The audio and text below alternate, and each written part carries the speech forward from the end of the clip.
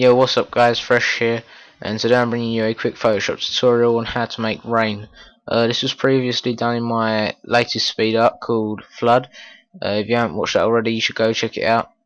Um, I think you will enjoy it. Uh, so, basically we're gonna, uh, I'm gonna show you how to make rain in Photoshop, and uh, this is how you do it. I'm just gonna take off these layers. What you want to do is you want to uh, make a new layer and get to the paint bucket tool which is next to the eraser. Make sure you've got it on black and fill the screen. Next you want to go to uh, filter noise add noise. And I've got my amount to about 50 the distribution on Gaussian and monochromatic ticked. Click OK. Next you want to go to filter blur motion blur now in my speed I had it about uh, 90 degrees, uh, but you might want it at a slight angle, so I'm going to put it as minus 70, and the distance to about 60. Uh, that just does it alright. Click OK. Now you will have these brushy lines at the top, but that does not matter when you have the blending mode on to something different. It will look different, and you can just erase them lightly. Next, you want to go to image adjustments and levels.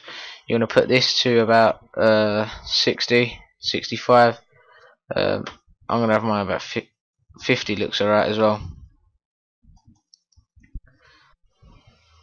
Actually 60 will do. Not 560 60 this to about 1.46 and then this to about 241 that'll look alright once you've done that you want to put the blending mode to screen and as you can see it looks like it's raining. Next you want to get a then to just get rid of these bits you just want to grab the soft brush airbrush and just erase the top bits like so until it doesn't look until it just looks normal. Um, then you're good to go. Like that. You may even want to just scale it up a bit and there you go it looks like it's raining.